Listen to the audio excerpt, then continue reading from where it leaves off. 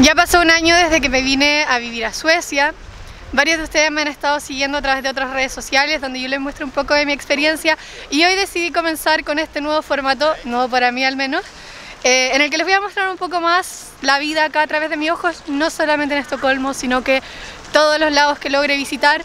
Hace un poco de frío, pero de todas maneras salí porque les quiero mostrar qué hacen en Estocolmo si vienen un solo día. Así que acá vamos.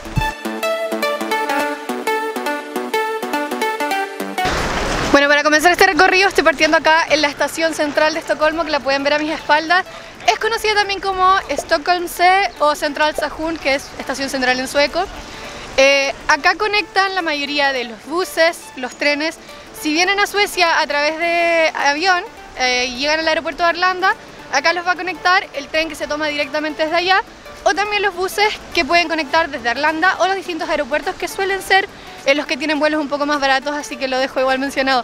La empresa que yo recomiendo de buses se llama Flickbus Arna, no sé si se pronuncia así, pero se los dejo acá escrito. Eh, los va a dejar también acá, pero por el otro lado.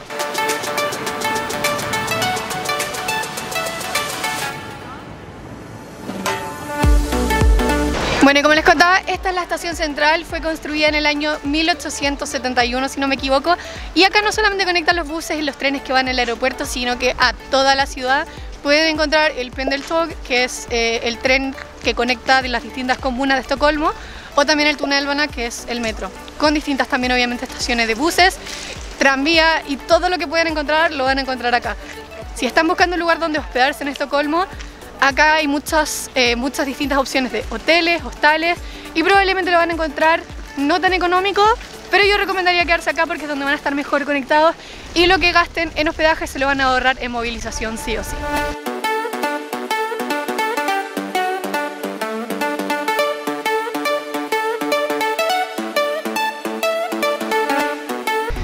Ahora ya salí de la estación central, como pueden ver, voy caminando acá en Estocolmo y les voy a mostrar el camino para llegar a nuestra primera parada, así que vamos.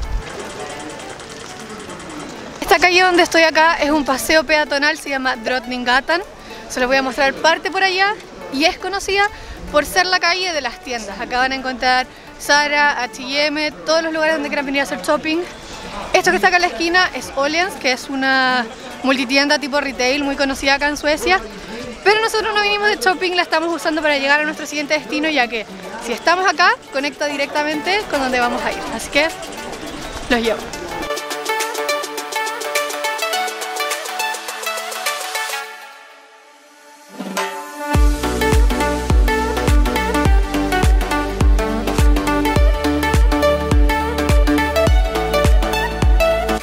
Ya vamos casi llegando a nuestra primera parada, pero les voy a mostrar primero este puente que está acá, que es el que conecta el centro de Estocolmo con la ciudad antigua.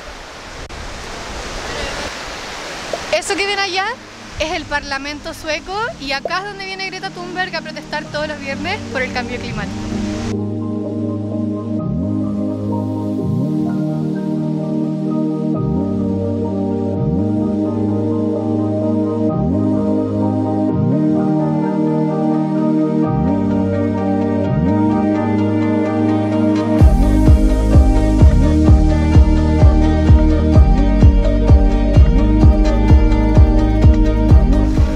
Llegamos a Gamla Stan.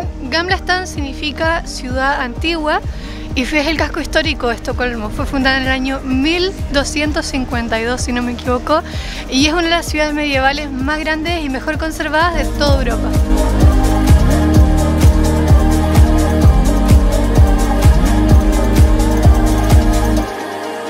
Bueno, esto que ven acá, atrás mío, es el mercado navideño. Se puso más o menos a mediados de noviembre, ya estaban abiertas las tiendas eh, y dura obviamente hasta después de la Navidad.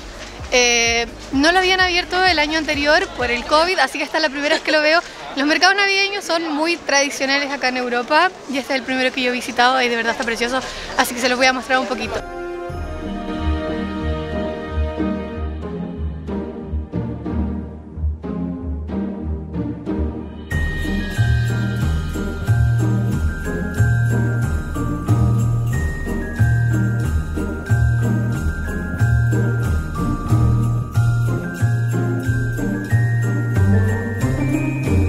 Y esta plaza se la vine a mostrar no necesariamente por un mercado navideño, sino que porque este es uno de los puntos más lindos de Gamla Stan y donde viene todo el mundo a sacarse la típica foto con esos edificios que están ahí atrás que son muy representativos de acá de Estocolmo. Eh, y aquí también está este edificio de atrás que está el Museo del Premio Nobel, la Biblioteca del Premio Nobel y la Academia eh, Sueca. Esta zona que les acabo de mostrar es una de las áreas, o es el área más turística de Estocolmo, por ende hay muchas tiendas de souvenirs, restaurantes y cosas que hacer, pero es bien caro. un plato de comida en un restaurante acá sale aproximadamente unas 150 coronas como mínimo. 200 coronas diría yo que es como lo que uno puede esperar encontrar por lo menos en esta área. Bueno, y eso es la una de la tarde, así que nos quedan dos horas nomás de luz. Eh, vamos a ver qué alcanzamos a hacer porque tenía varias cosas más preparadas, pero Veamos si alcanzamos. La idea es que esto sea una guía súper real de qué cosas se pueden hacer en un día en Estocolmo para la gente que viene por poquito tiempo. Em, así que les voy a mostrar 100% real qué se alcanza a hacer en el invierno acá. Para ir a nuestro siguiente punto vamos a tomar acá el metro. El transporte público en Estocolmo es uno de los más caros del mundo. Eh, un pasaje está alrededor de unas 38 coronas. Yo tengo una tarjeta que es mensual, que cuesta 950 coronas y alcanza para viajes ilimitados durante 30 días. También hay pases diarios y hay pases semanales para quienes vienen de visita.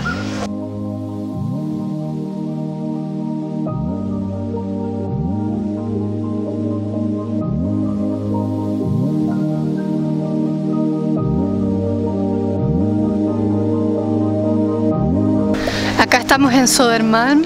Sodermalm es conocido por ser como el barrio hipster de Estocolmo. Eh, estamos específicamente en María Toriet, la estación de metro María Toriet nos bajamos, eh, porque vamos a ir a lo que es según yo uno de los mejores puntos para ver Estocolmo desde arriba. Así que no me acuerdo cómo se llega, pero lo voy a buscar.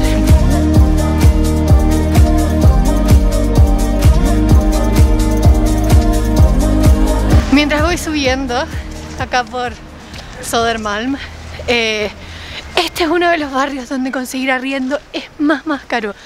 Cuando estuve en búsqueda de departamento acá en Estocolmo, me topé con varios preciosos en esta área, donde el precio mínimo era unas 16.000 o 15.000 coronas suecas por mes. Y bueno, si bien es caro, para uno que lo compara con la realidad de Latinoamérica, comparado con los sueldos, con lo que se gana vivir acá, es algo que la gente puede pagar. Yo si pudiera lo pagaría, porque es precioso. Es uno de mis barrios favoritos. Bueno, y del metro María Toriet caminamos unos 5 minutos en subida y llegamos acá.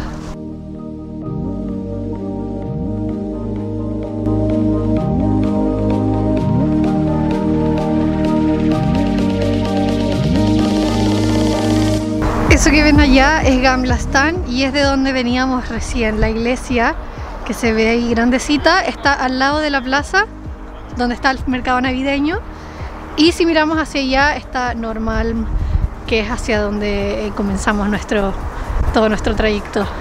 Bueno, esta isla donde estamos ahora, que es Sodermalm, está al sur de donde estábamos, al sur de Gamla Stan, de Normal, que es donde partimos.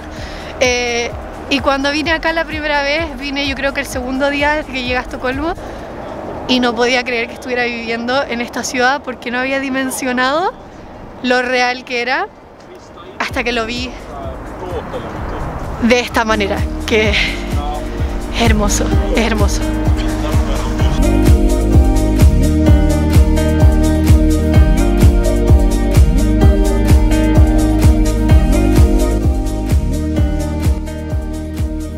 Bueno, con esta vista no nos despedimos, seguimos recorriendo.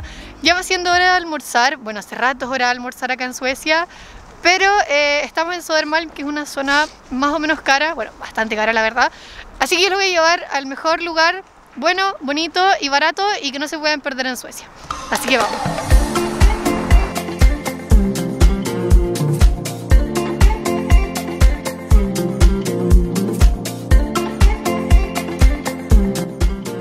Bueno, ahora seguimos en Sodermalm, pero de Maria Toriet nos vinimos al metro Medborgarplatsen para almorzar en Max. A los suecos les gusta mucho el Max. Es algo así como el McDonald's sueco, eh, pero es un poquito más caro y tiene muchas opciones vegetarianas. Yo les voy a mostrar. Miren, acá uno pide estas pantallas, yo lo pedí en inglés para comer acá. Y eh, yo busco las opciones vegetarianas. Venía con unas ganas de un halloumi, pero ahí les voy a mostrar qué es lo que hay. Burgers, salad. Yo voy a pedirme una de halloumi. Ya pagué y me dieron mi ticket. Bueno, este es el almuerzo que me pedí acá en Max. La bebida, papas y la hamburguesa de halloumi vegetariana, 97 coronas.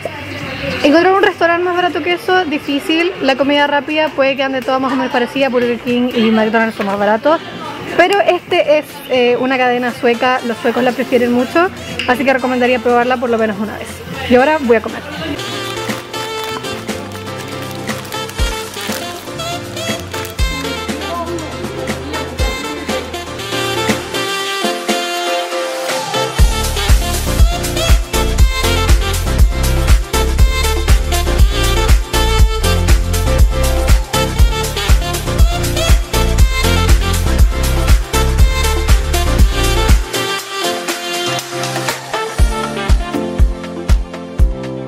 Terminamos de comer acá en Max y vamos a ir a nuestra última parada, nos queda muy poquito antes que se oscurezca, así que vamos a correr, correr, correr para el detallado.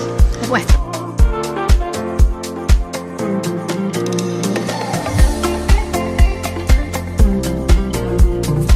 Miren, ella se está viendo cómo se oscurece. Lo que vamos a tomar ahora es el Pendle Boat. Pendle Boat. Es un barco que hace de micro y funciona con el transporte público, entonces te sirve el mismo pase diario, el mismo pase mensual, etc. Y se toma acá en Slusen, para donde vamos a ir nosotros.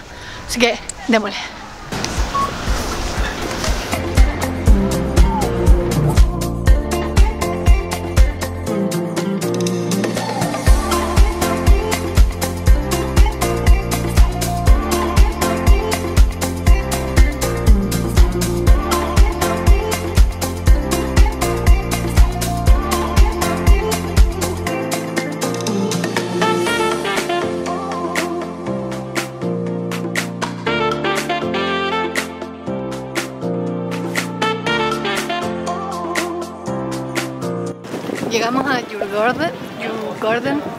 Djurgården.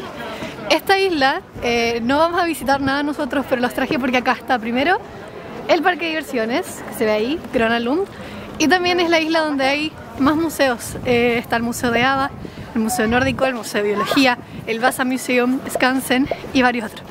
Así que les voy a llevar a mostrar, no voy a entrar a ningún museo, pero para que conozcan el área.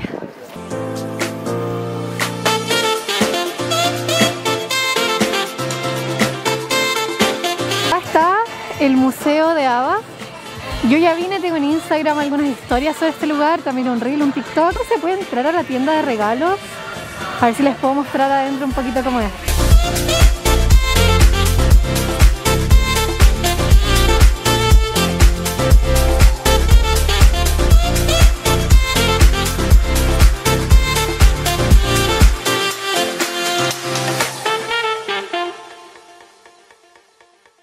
Si quieren venir al Museo de Ava, lo más recomendado es que reserven las entradas con anticipación.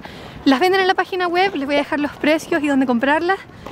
Les quería mostrar más de acá de esta isla, pero como ven, ya se anocheció, son pasadas las 3 de la tarde. Eh, ya no voy a poder mostrarles más cosas. Les quería mostrar cosas que hacer afuera, que fueran gratis o que fueran para conocer la ciudad, no solamente entrar a museos. Así que espero que les haya gustado este video y lo voy a cerrar con un poco más de imágenes de acá de esta isla y de esto. Espero que les haya gustado. Gracias por vernos.